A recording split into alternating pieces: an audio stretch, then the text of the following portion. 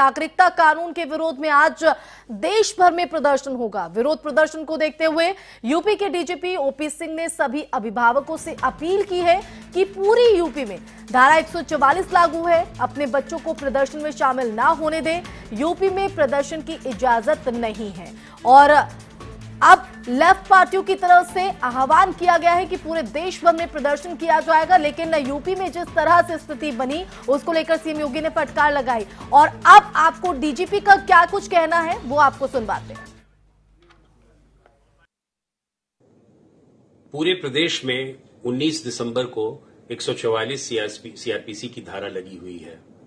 अतः मैं अपील करूँगा अपने सभी गार्जियंस पेरेंट्स से कि वो अपने बच्चों को इस दिन कहीं पे भी जाने के लिए प्रेरित न करें, उन्हें डिमॉन्स्ट्रेशन या प्रदर्शन में जाने के लिए नहीं बताएँ। नहीं तो उनके विरुद्ध कार्रवाई होगी।